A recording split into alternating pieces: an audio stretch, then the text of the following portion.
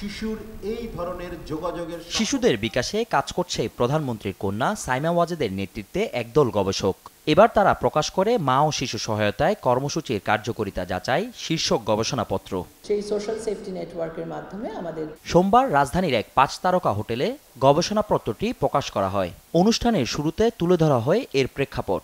And this study has, uh, as we've just seen, proves the positive impact of the early stimulation services embedded in the Mother and Child Benefit Program, enhancing children's cognitive ability. Miss Saima ওয়াজেদের নেতৃত্বে একটি প্রশিক্ষণ module তৈরি করি। এবং সেই মডিউলটি এই বুদ্ধিভিত্তিক বিকাশের সহায়ক একটি মডিউল এ সময় মহিলা ও শিশু বিষয়ক প্রতিমন্ত্রী সিমিন হোসেন রিমি বলেন এই ধরনের গবেষণা শিশুদের মানসিক বিকাশে গুরুত্বপূর্ণ অবদান রাখবে। এটা একটা বড় চ্যালেঞ্জ বাংলাদেশে এন্ড চাইল্ড ম্যারেজ যেটা আমাদের, এটাও আমাদের এসডিজির লক্ষ্যমাত্রা পূরণে আমরা অনেকটাই আমাদেরকে কাজ করতে হবে।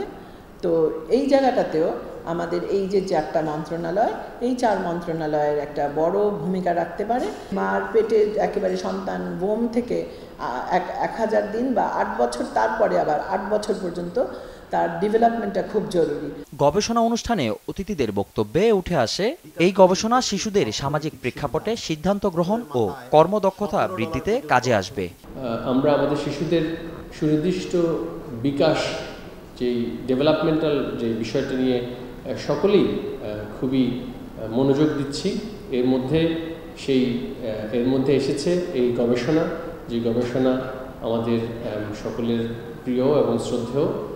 সাইমা ওয়াজেদ, তিনি তার টিমকে নিয়ে যে গবেষণা করেছেন, আমরা এই গবেষণার মাধ্যমে লব্ধ যে সমস্ত তথ্য এবং ফলাফলগুলো এসেছে এবং সমাধানের পথ যেগুলো আমাদের, আমরা দেখতে পেয়েছি, সেগুলো অবশ্যই আমাদের জন্য বিশেষভাবে সহায়ক হবে। মা ও শিশু সহায়তা কর্মসূচির আওতায় ডাব্লিউএফপির অর্থায়নে শিশুর মানসিক উন্নয়নে যে কাজ করা হয়েছে তা গবেষণার একটি অংশ।